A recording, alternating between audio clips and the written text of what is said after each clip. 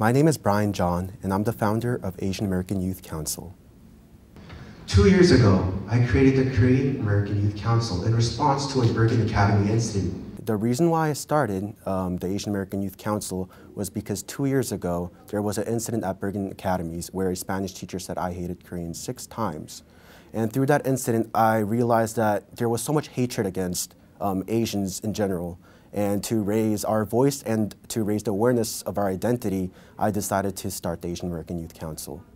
Well, the problem started off by the teacher, where she said I hated Koreans. That's a racist remark.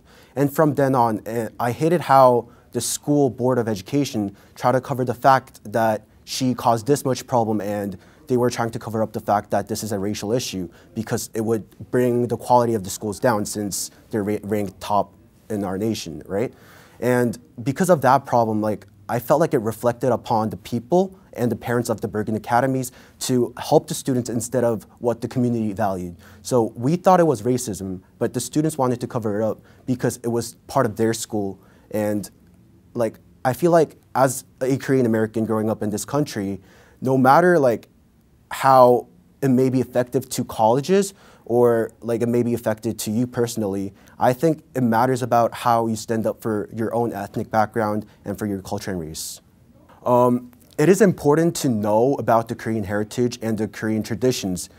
Um, but my personal opinion is that to grow together in this country, we need to stick together.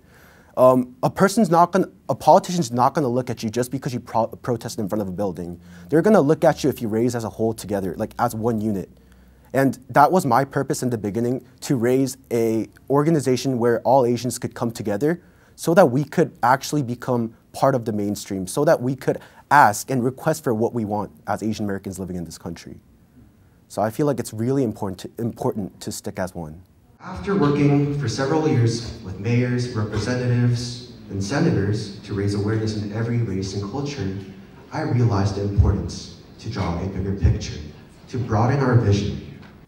Asian American Youth Council is a organization that was created to fight against stereotypical um, ideas such as how Asians don't ha really have a voice in this society or that Asians don't have any power. Um, we are here so that we could be one and so that we could represent our voice and um, show our identity in this country. Um, we have a new goal every year.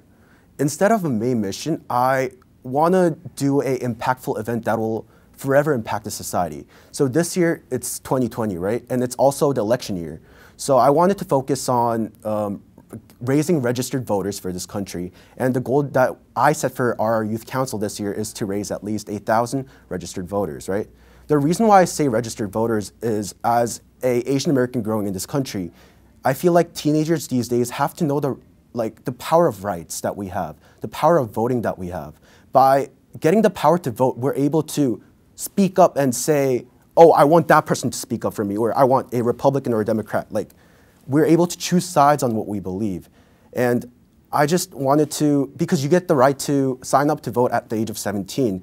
So by raising awareness of the importance of voting, more students will engage with the society later, improving our, um, I guess, it'll give us a more wide range of opinions from all over the country. We don't really have a term.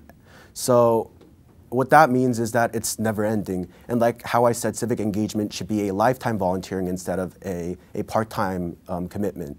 Um, to value that idea, I made it so that it's um, lifetime so that our students could still work in colleges, so that they could go to colleges and represent our youth council by spreading the idea of being together and to raise awareness of um, our voices in this country.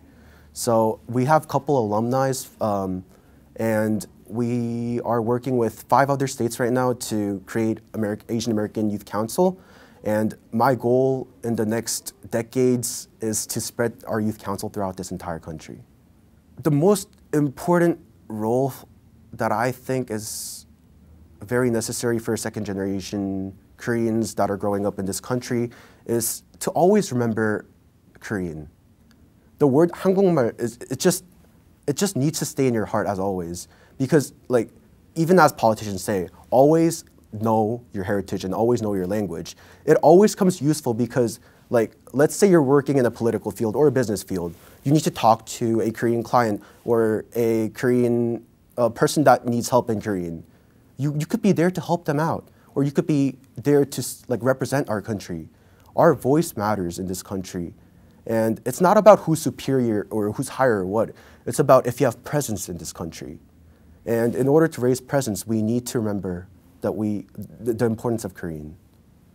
Well, we're using the student body here instead of the adults, but by using our second generation um, teenagers, I feel like we could like impact our society because we are going to be the adults later impacting this country.